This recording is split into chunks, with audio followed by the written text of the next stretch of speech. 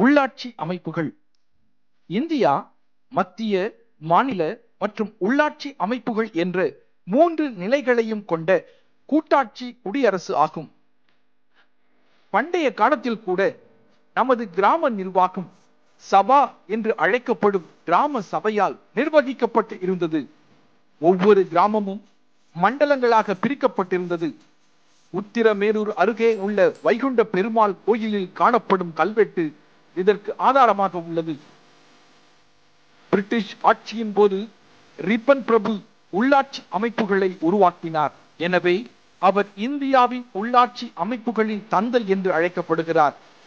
சுதந்திர இந்தியாவில் உள்ளாட்சி அமைப்புகளை கிராம பஞ்சாயத்துக்களை பலப்படுத்த வேண்டும் என்று பல குரல்கள் எழுந்தன. ஆயிரத்தி தொள்ளாயிரத்தி தொண்ணூத்தி இரண்டாம் ஆண்டு இயற்றப்பட்ட எழுபத்தி மூன்றாவது அரசியல் சட்ட திருத்த சட்டம். ஆயிரத்தி தொள்ளாயிரத்தி தொண்ணூத்தி மூன்றாம் ஆண்டு ஏப்ரல் மாதம் இருபத்தி நான்காம் நாள் நடைமுறைக்கு வந்தது.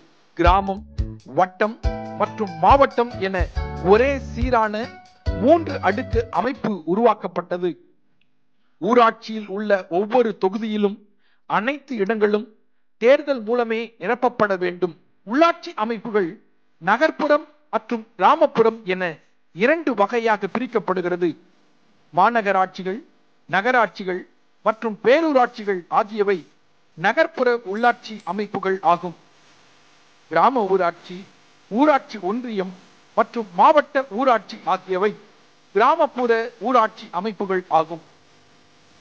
உள்ளாட்சி அமைப்புகளே மாநிலத்தின் வளர்ச்சி நிர்வாகத்திற்கு முற்றிலும் பொறுப்பு வகிக்கின்றன. சுத்தமான சுற்றுச்சூழல் பராமரிப்பு ஆரம்ப சுகாதார வசதிகள் ஆகியவை முதன்மையான முக்கியத்துவம் பெறுகின்றன. மேலும் மக்களுக்கு குடிநீர் வழங்கல் சாலைகள் கட்டடங்கள் மழைநீர் வடிகால் தெரு விளக்குகள் திடக்கழிவு மேலாண்மை சுகாதாரம் மற்றும் வணிக வளாகங்கள் மற்றும் பேருந்து நிலையங்கள் அமைத்தல் என பல்வேறு கடமைகள் உள்ளாட்சி அமைப்புகளுக்கு உள்ளன. மாவட்ட வாரியான உள்ளாட்சி அமைப்புகள்